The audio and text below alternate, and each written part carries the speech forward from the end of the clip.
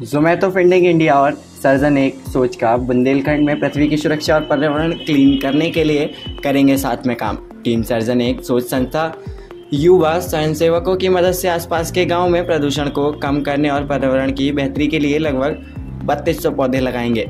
Surgeon एक सोच, उत्तर प्रदेश में नामांकित छात्र छात्राएँ अपने आसपास के क्षेत्रों में एक पौधा रोपेंगे और सर्जन सभी छात्रों की सराहना के प्रतीक के रूप में उन्हें एक पौष्टिक राशन किट देंगे। वो सभी लोग सर्जन के भागीदार हैं, वो पौधे के देखभाल करेंगे, इसलिए मूल रूप से आने वाले एक महीने में उत्तर प्रदेश में बत्तीस युवा भागीदारों का लक्षित कर रहे हैं।